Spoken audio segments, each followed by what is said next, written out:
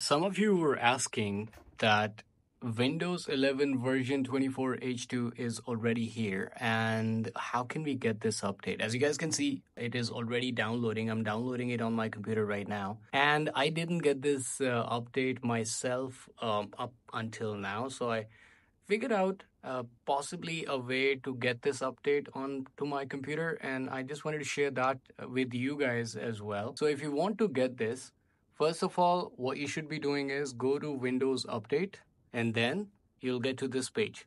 Once you're on this page, what you can do is there is an option under more options. And here is a checkbox. It says get the latest updates as soon as they're available. Be among the first to get the latest non-security updates, fixes, and improvements as soon as they're rolled out.